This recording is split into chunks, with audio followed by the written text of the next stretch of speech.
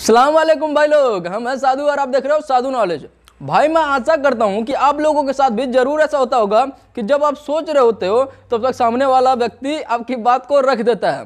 कहता है ना कि अरे तुम्हें कैसे पता चला कि तो मैं सोच रहा था अभी दोस्तों, इसलिए होता है क्योंकि जो हमारा ब्रेन होता है, वो इलेक्ट्रिक चार्ज पे चलता है। और यही इलेक्ट्रिक चार्ज एक मैग्नेटिक फ़ील्ड को रिलीज़ करती है। और यही मैग्नेटिक फ़ील्ड जब कोई सामने वाला व्यक्ति कभी कभी उसका जो ब्रेन होता है, वो एनालाइज कर लेता है तब आपकी बातों को रख पाता है। और इसी मैग्नेटिक फ़ील्ड का भाई लोग ना, बहुत ही बड़े स्केल पे एक्सपेरिमेंट किया जा रहा है। जी हाँ दोस्तों, ऐसा एक्सपेरिमेंट किया जा रहा है कि जिससे कि आप बता दूँ कि एक घंटे में डांस करना मतलब कुछ भी सीख सकते हो यार।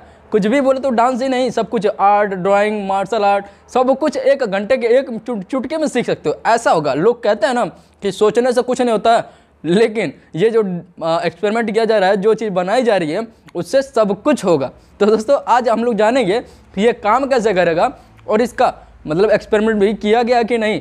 तो अगर आपने वीडियो को लाइक नहीं किया तो लाइक कर दीजिए और चलिए वीडियो को शुरू करते हैं बिना लेट के हुए।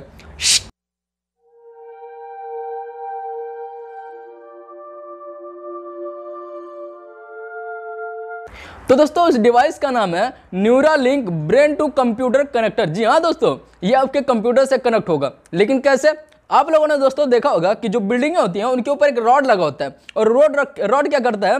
कि जो आसमानी बिजली होता है, उसे बिल्डिंग के ऊपर नहीं गिरने देता है। मतलब अपनी तरफ़ खींच लेता है। और इसी रॉड का हमारे ब्रेन में इस्तेमाल किया जाएगा।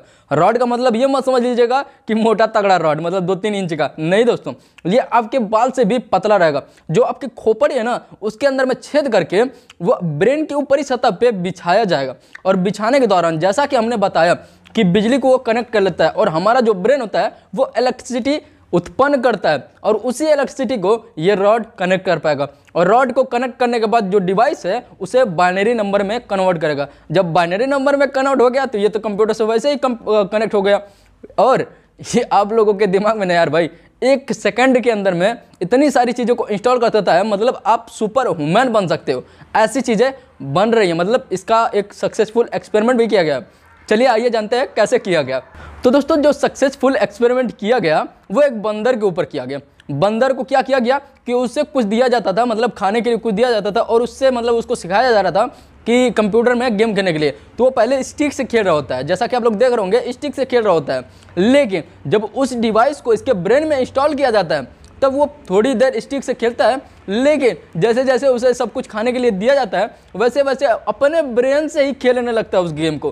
तो ये सक्सेसफुल एक्सपेरिमेंट हो चुका है। और अभी ह्यूमन पे नहीं किया गया है मतलब इंसानों पे नहीं किया गया है लेकिन आने वाले समय में किया भी जा सकता है। ऐसे ही आप मान लीजिए कि कभी कोई सोचा नहीं था कि दुबई में बैठा हुआ इंसान इंडिया में बात कर पाएगा तो सेम इसी तरह मतलब आंकड़े लगाए जा रहे हैं कि 2050-50 तक इसको इंस्टॉल कर दिया जाएगा ह्यूमन के ऊपर भी। और जब ये हो जाएगा ना भाई तो बहुत कुछ होगा। अब जानते हैं कि क्या क्या कर सकते हैं हम लोग इस डिवाइस के बदौलत।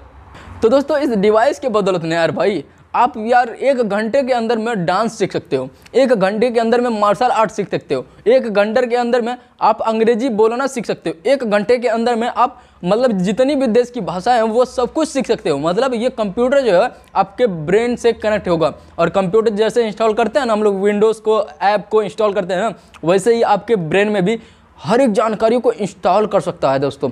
ऐसा कुछ होगा हमारे साथ में। तो दोस्तों, आप लोगों ने देखा होगा टेस्ला की जो गाड़ियाँ होती हैं, वो कंप्यूटर से कनेक्ट होती हैं। मतलब ऑटो मोड पे कंप्यूटर से कनेक्ट होती है। मतलब हम स्टेयरिंग नहीं टच करते हैं और गाड़ी अपने आप चलती है ना? ऐसा देखा होगा आप लोगों ने।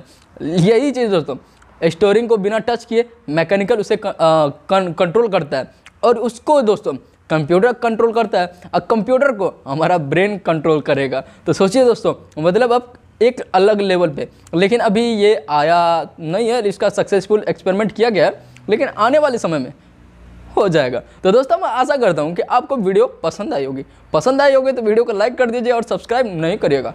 ये पूरी जानकारी आप लोगों को अच्छी लगी होगी तो ही सब्सक्राइब करिएगा। Thank you.